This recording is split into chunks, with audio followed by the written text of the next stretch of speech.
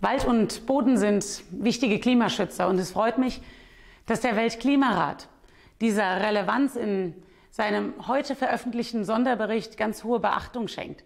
Wir müssen den Boden, den Ackerboden als Kohlenstoffsenke schützen und sein Speicherpotenzial noch weiter ausbauen. Und diese Punkte sind deshalb zentraler Bestandteil der von mir bereits Anfang Mai vorgelegten zehn Klimaschutzmaßnahmen im Klimakabinett. Durch die nachhaltige Bewirtschaftung der Wälder in Deutschland wirken diese anders übrigens als im globalen Trend als effektive Treibhausgassenke.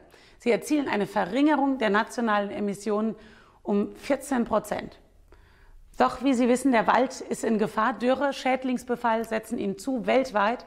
Auch wenn wir bereits vor vielen Jahren damit begonnen haben, unseren Wald auf den Klimawandel vorzubereiten, umzubauen, Mischwälder anzupflanzen, müssen wir noch mehr leisten. Wir brauchen schnell ein groß angelegtes, nachhaltiges Aufforstungsprogramm mit standortangepassten Bäumen für robuste Mischwälder, national wie auch international.